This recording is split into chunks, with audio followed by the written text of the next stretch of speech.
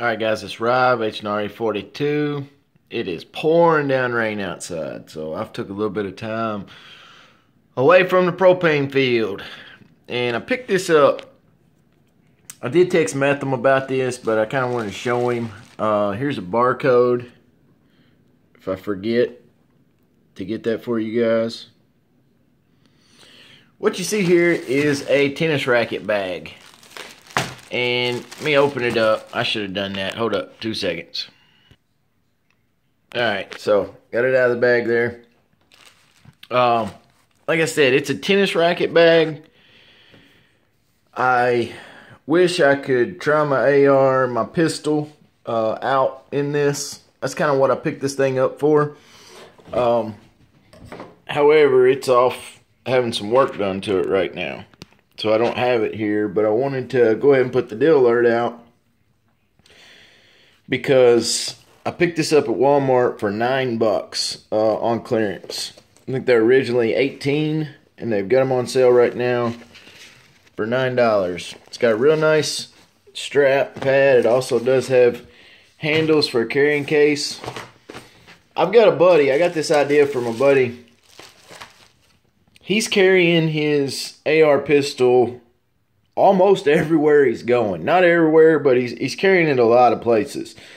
And no one realizes that it's a, a pistol or an AR because it's in this tennis racket bag. And they think he's just carrying around a tennis racket.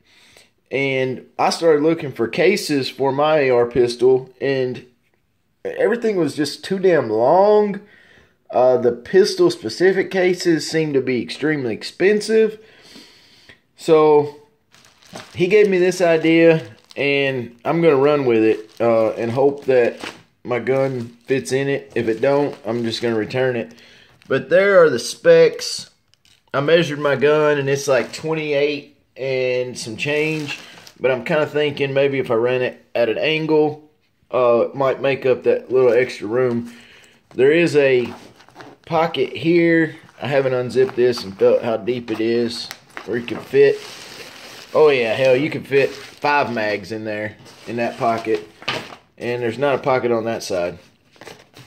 But just thinking outside the box, if any of you guys are like me, you have AR pistols or maybe an AK pistol and you've been wanting a case for it but just haven't been able to came up with something uh, give this a look, see guys. It might it might work for you. They also do have it in blue and white, but the piping was white, and I thought it would get dirtier easier than the red piping.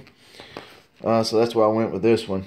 But anyway, there's again, there's barcode. Maybe a good idea, it may not. I don't know, guys.